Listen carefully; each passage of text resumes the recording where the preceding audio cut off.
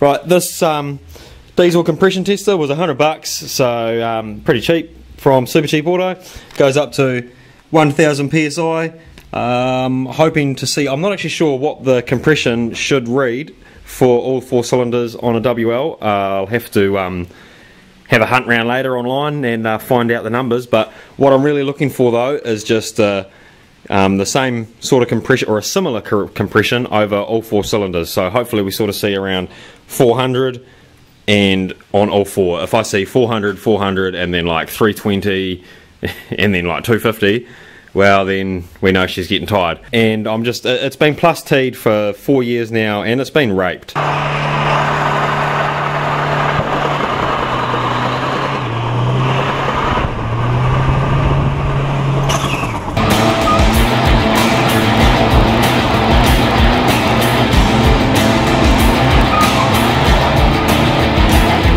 Probably going to be worthwhile just having a check, seeing what's going on inside that motor, whether I need to freshen it up, give it some rings, or I don't know. So we'll pull the glow plugs out now and um, hook this up.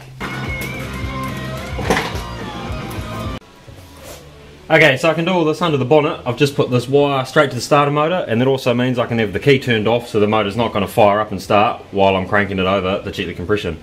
At least that's the theory.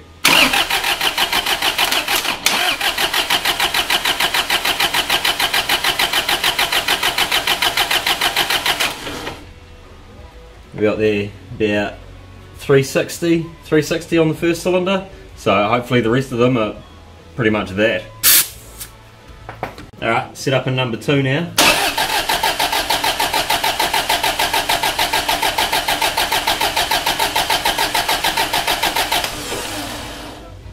Uh, that one's about 350, so about 10 psi lower on that cylinder, which is nothing to really worry about. Alright, cylinder number three now. We've got uh, 360 on one, 340 on the next, so hopefully this one's up at 360 again.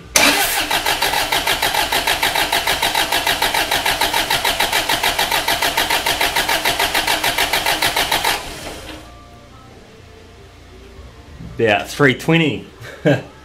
Fuck. Wow, 3. Uh, 330, 329, 330. Alright, I'm on cylinder number 4 now. Um, I've been hoping for 360 all along, but fuck, it's probably more likely to be 290.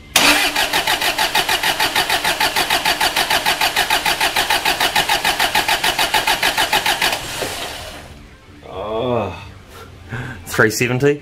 Shit. So we've got 360 on number 1, 348 on number 2, 329 on number 3, and 370 on number 4. Um, I'll have to go home and have a Google and see what the factory compression should be and um, work out how much I've lost.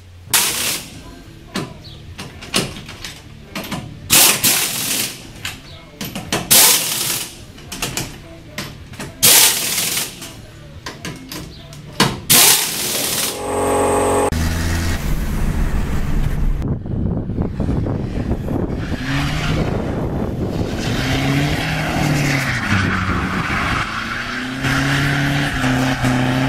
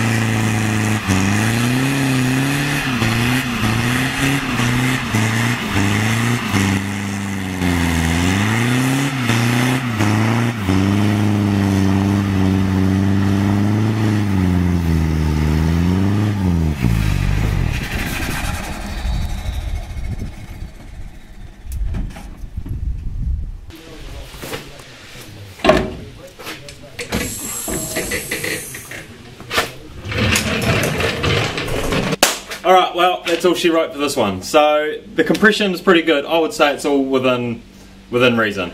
Um, we're about 40 psi down from the highest cylinder to the last cylinder. That could be just due to the way the valves are seating on that cylinder, um, bit of ring wear because this motor does have a bit of blow by. Let's be honest. Um, it's been thrashed over the years. But if you've got any suggestions, throw them in the comment down below as to why you think my blow uh, compression ratio is so different. Um, let us know if you think it's alright too, because I would say it's sweet as. I mean, it's obviously still running sweet, still hooking third gear like a champ. So those gear changes you've seen there, that long-winded one especially, second into third roasting. So no dramas. You'd be able to hook fourth if I had enough room and no traffic. So that's where I'm going to leave it. So if you're here to the channel for the first time, smash a like, subscribe, leave a comment down below. We'll see you on the next one.